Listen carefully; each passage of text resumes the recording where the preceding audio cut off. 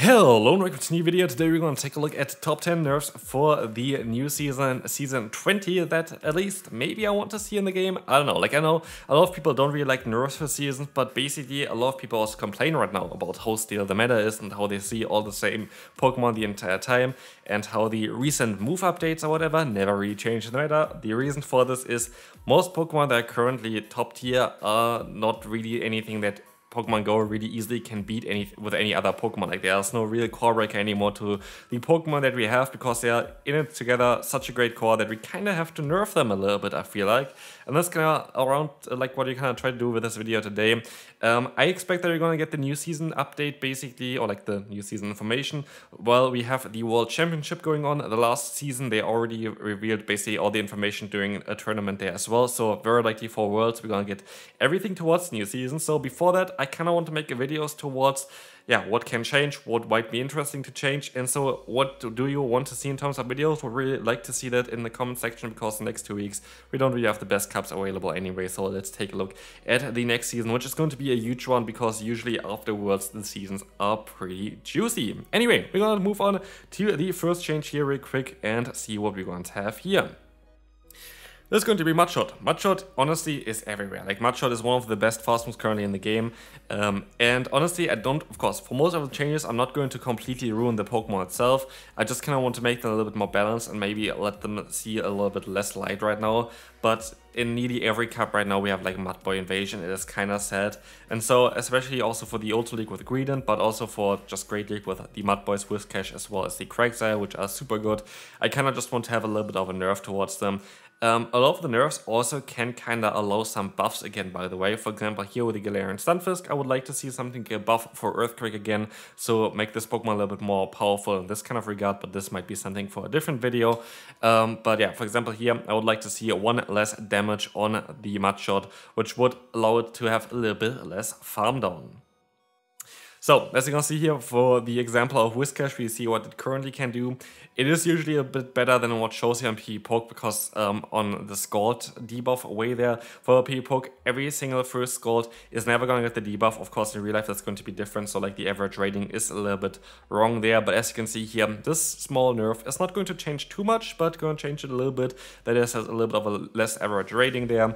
And yeah, barely going to be a big change for them because, again, Mudshot is not known for doing a lot of damage, but I would even lower the damage a little bit further here as well, just because of all those Pokemon that have been dominating the meta for ages, but still it would not really defeat the purpose. It still will allow um, to be decent, but still it kind of makes it a little bit more balanced, and that's kind of what the video is about anyway.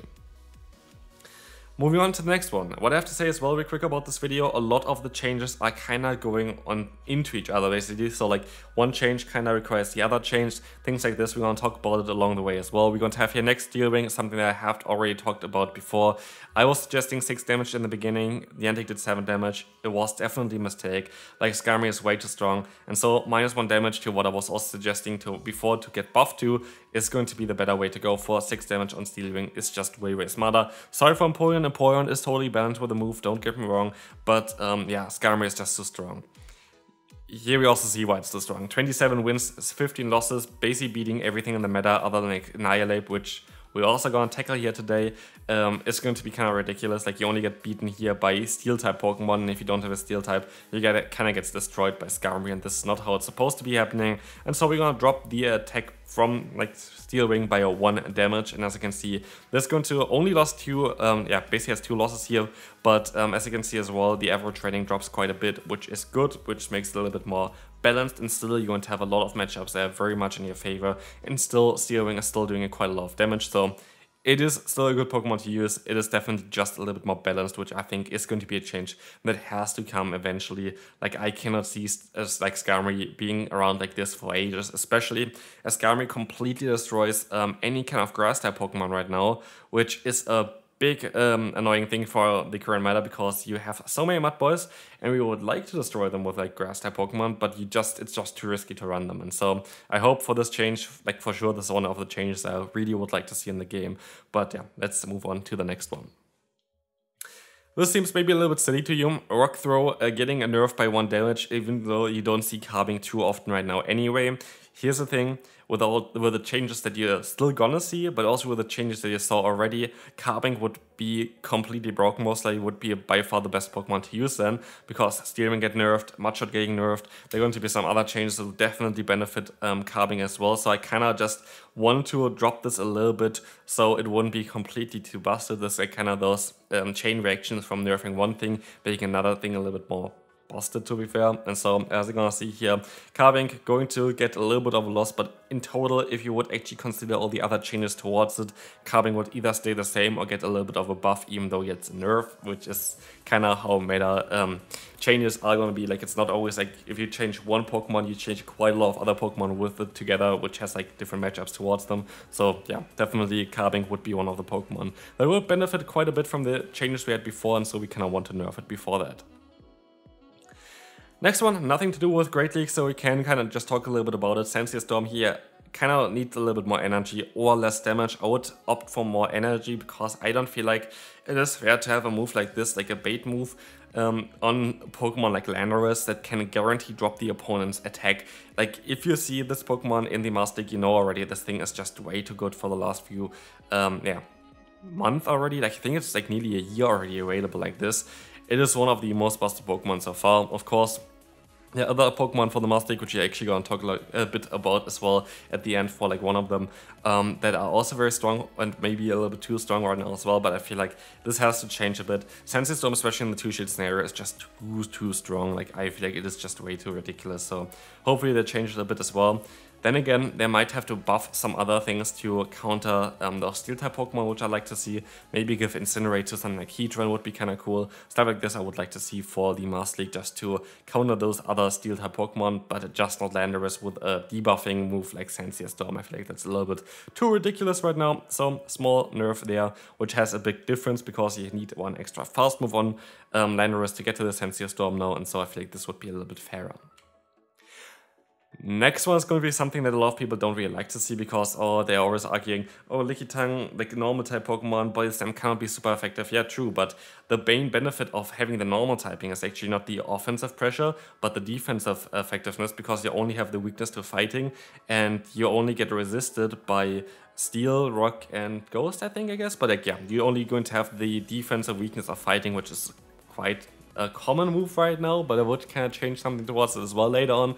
So yeah, defensively, defensively, like normal types always been very, very strong. And so I don't really see the point of having such a busted move like Body Slam available to them. Again, Greedent, super annoying for the Ultra League. Lickitung, super annoying in the Great League. And also, I just kind of want to get rid of having a Vigoroth and Dubwool being the best Pokemon in any kind of limited meta right now. And this is kind of one of the reasons why I feel like Body Slam needs kind of a nerf. Here, only a few Pokemon really get affected by it, but those hopefully... Like, honestly, I kind of really want to see Vigoroth disappear, I have to say. I feel like it's just too strong for too long, and also Lickitung can kind of go down. But So let's take a look at Lickitung here for the change. We're gonna see right now, Lickitung is gonna get 26 wins and 16 losses in the Open Great League. For a normal type Pokemon, yes, it's of course a very kind of neutral Pokemon to play, but this will not go away by only like reducing Body Slam by 5 damage. As you're gonna see here, it's gonna lose 30 average rating and 5 matchups, which is totally fine because it's still a very neutral Pokemon that has a good coverage. And if you take a look on the right side, actually the matchup itself barely really changed there, which is kind of mad. And so yeah, honestly, it is going to still be a very solid Pokemon to use. There's still so many matchups that you can still win with it, so uh, I would not really worry too much about it. It still would be a very good one. I still kind of feel like Vigoroth is going to not enjoy a different kind of change that I would suggest as well later on. Which is this one. Counter, getting nerfed by one damage. It is at the point right now where I look through the meta basically and um, for especially the play Pokemon tournaments, there are two things that are always kind of present. There's always a counter user, there's always a flying type Pokemon. And both of those kind of things I kind of want to reduce a little bit in terms of what we are doing here today with the video and hopefully maybe Niantic gonna copy this, who knows. Haven't actually quite a lot in the past already, but yeah, counter getting a minus one damage nerf, I feel like would make a lot of sense at the current time. There was a time already, like I think around a year ago, where I also suggested this was like, hmm, maybe you can do it, maybe you shouldn't do it, really depends. Right now, I'm definitely leaning towards you kind of have to do it at this point. And what I would like to do as well at the same time, just do something like Force Palm, like do something that gives um, Fighting type Pokemon a different kind of style of playing, giving like some more, I don't know, longer fast move duration moves instead of just counter and just widening up a little bit of the choices. For example, we also have Karate Chop, which is like a Powder Snow clone. Powder Snow is usually a good fast move, so like maybe some Pokemon will use this one now. But yeah, basically counter nerf is kind of also impacting some like Carbink, so kind of getting nerfed there is kind of decent. Maybe even nerf Smackdown for Bastiodon. I bet Niantic gonna buff it now or whatever. But um, anyway, we're gonna take a look here at counter. This is going to be definitely a very impactful one for the meta, which I feel like is kind of. Like honestly, everybody's kind of tired of seeing the same Pokemon all over again, and so why not do like some actual changes? And this would definitely change the meta quite a bit. You see already, Annihilape is gonna drop quite a bit with that as well, like only actually dropping 4 wins though, still gonna give it the same kind of matchups which you can see from the left and the right side, you're still going to be able to win the same kind of ways, but for example in Cresselia you see a small change there, that's now a very worse matchup because now um, Night and counter so kinda, like the counter damage doesn't really add up as much, because actually the Cresselia matchup is not that bad for Annihilape usually, but just having a little bit of counter pressure is kind of important. And that's also why, for example, Body Slam was the nerf that I would suggest as well. If you nerf counter, you kind of have to nerf also like the Pokemon that would usually be weak to counter, like Lickitung, that kind of enable counter to be as strong as it is currently. So that's kind of also like those kind of ways where those move updates kind of intervene with each other, but this is going to be it for this one. Let's move on to the next one one of the um, moves that also a lot of people don't really like is going to be Charm. And yes, Charm I would also suggest a slight nerf here by one damage. This is not going to impact this one quite as much as, for example, Counter impacted one, because you have one damage on three turns here. Still, you have 14 damage, which is ridiculous. Charm actually got nerfed before. I think it started off with like 16 or 17 damage, but like um, 14 damage seems way, way better for this one and way, way more balanced, which you can see here now as well. Here's the only time where I'm not going to take a look at the one-shield scenario, but actually taking a look at the two-shield scenario because it showcases a little bit more on how ridiculous Wigglytuff is in the current meta. Having 31 wins and 11 losses is absurd. Like it's just way too strong. Like not gonna, it's way too strong. Um, and so we kind of like if you take a look also at the Pokemon that beat it, basically other than Carbink, which has just way too much bulk, any other Pokemon just beaten in two sheet scenarios are just Steel type Pokemon. And that is a little bit too crazy to just only have like one type that can really beat your one Pokemon here. So I would suggest Wigglytuff getting a little bit of a nerf here as well, with Charm getting a nerf. And as you can see, it still has an overall rating of 600, which is ridiculous in two shit scenarios. So you're still going to be able to farm down those Pokemon, but um, the changes are not even that dramatic. Like again, you're gonna lose six different matchups there, but um, it's just going to make them a little bit closer than they were before. But still, you're going to charm away quite a lot of Pokemon with it, and it's definitely not going to impact it too much. But I feel like a slight nerf is definitely something that Charm would need. You could even argue of keeping the damage and dropping the energy a little bit, but um, yeah, no matter what, Charm definitely needs a nerf. Like Wigglytuff is currently everywhere in the Open Great League, and I don't really like it. So hopefully, this is going to change a bit for the next season. Next one, um, I was actually a little bit, um, I don't know, like I was, I was not too sure about this one in the beginning, and then I was looking at it, and now I'm definitely sure that I want to see this one. Here's the thing, in the current meta, Aerial Ace is not a great move, like 55 damage for the energy, it's not a strong move at all. But um, the thing is just that all of the Pokemon you see on the screen right now are so insanely spammy with it that's going to be kind of ridiculous to battle against them. Like you know about Gligar and Mantine. Both of them usually can flip even matchups that are bad for themselves, especially for example the Gligar. If you have a little bit of energy advantage just because you're too spammy. Like having Shadow Gligar with Aerial Ace and Wing Attack going up against like something like a Feraligatr, uh, like if both are Shadow, you actually I think win this as a Gligar, which is just not something that's supposed to be happening in my opinion. So we're gonna drop it a little bit here by 5 damage. And as you can see here, this is the one shield scenario for Mantine in the current Open Great League. I was not aware that it wins 29 of them and only loses 13 of the matchups here, which is absolutely overpowered. We wanna see here um, a 69% win, win rate, which is of course very nice. But with a nerf here, we wanna see 5 more losses, which makes it just more balanced. And I think that's something that would be very, very healthy for the meta to have Aerial Ace drop a little bit again. Even though it just got buffed, basically, I feel like it is a little bit too strong right now, even though the move itself is not strong, just the Pokemon that learn it, and the way it interacts with Wing Attack being perfectly, uh, basically perfectly available after 10 turns of usage, it's just a little bit too strong in my opinion. So here, I think I think that the small nerf is going to work quite well for it.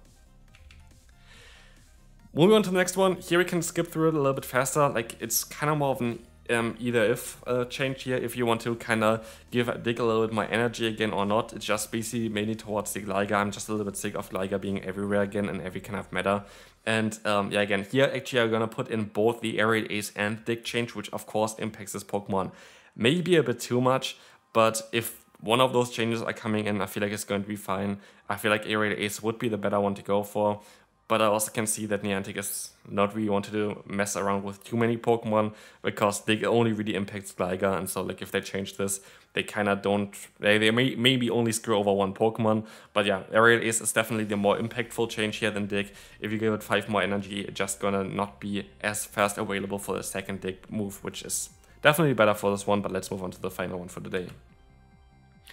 That's going to be Dragon Tail here. Only a few Pokemon really get impacted by this. Honestly, like you only have really the um, Steelix, the Gastrodon, and the Zygarde using it, and we kind of want to focus about Zygarde here. We changed it by minus one energy, which is going to make the um, pacing for Crunch a little bit more awkward and make this Pokemon a little bit more balanced. As you can see here, overall, winning 73.8% of the matchups is just ridiculous. And here, we still only drop it by two matchups, which is also kind of sad. So Maybe there has to be a different kind of nerf. Maybe there has to be a buff for Ice type Pokemon, which I would like to see as well.